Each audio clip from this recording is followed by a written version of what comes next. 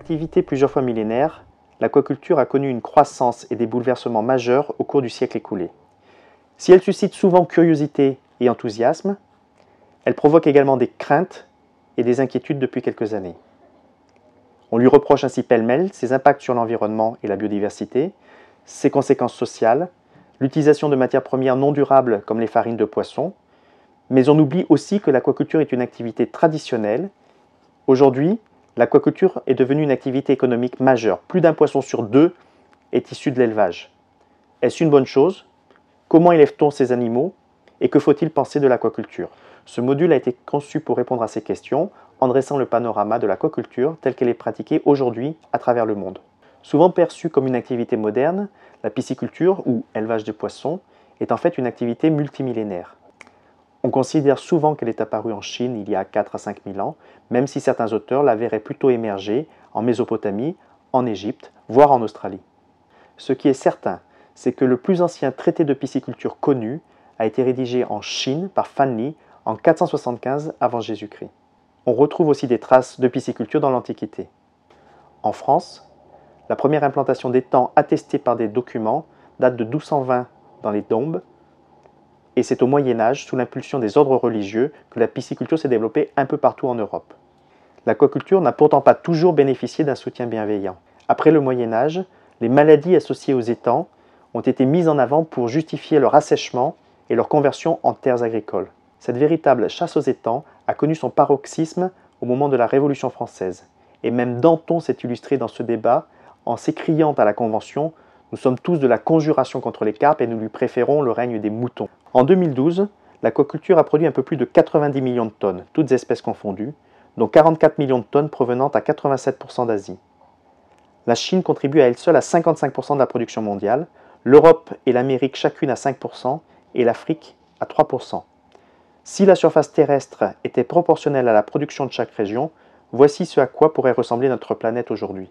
Sur cette animation, où la surface terrestre est proportionnelle à la production de chaque région, on peut constater que ce paysage aquacole a peu évolué au cours des 60 dernières années. Même si entre 1950 et 1970, l'Europe, l'Amérique du Nord et l'Asie ont représenté l'essentiel de la croissance mondiale, alors que depuis les années 1990, c'est plutôt en Amérique du Sud et en Afrique que les dynamiques les plus notables sont observées. La pisciculture est le secteur des productions animales qui a connu la plus forte croissance au cours du dernier demi-siècle, et aujourd'hui, elle produit plus que l'élevage bovin. Elle a aussi rattrapé la pêche dans la fourniture des poissons destinés à l'alimentation humaine. Ainsi, si elle ne produisait qu'un poisson sur 25 consommé par l'homme dans les années 60, aujourd'hui près d'un poisson sur deux est issu de l'élevage. La pisciculture est une activité dominée par les poissons d'eau douce qui représentent 85% du total. C'est aussi une activité tropicale puisqu'aujourd'hui, hors production chinoise, près de 8 poissons sur 10 viennent des pays chauds.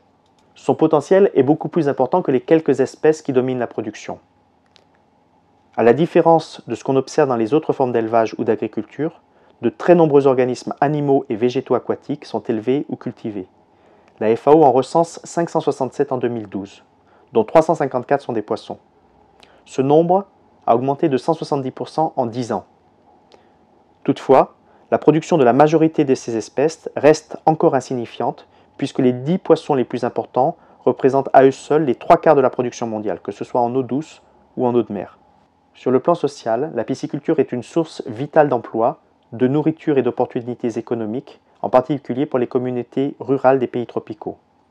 En 2012, près de 19 millions de personnes travaillent dans l'aquaculture, soit un quasi-doublement du nombre d'emplois directs en moins de 10 ans mais elle est aussi devenue une activité économique majeure, investie par les grands groupes multinationaux. En 2012, elle a ainsi généré un chiffre d'affaires de 87 milliards de dollars contre 29 milliards de dollars dix ans plus tôt. L'aquaculture est aujourd'hui une filière qui est entrée de plein pied dans la mondialisation.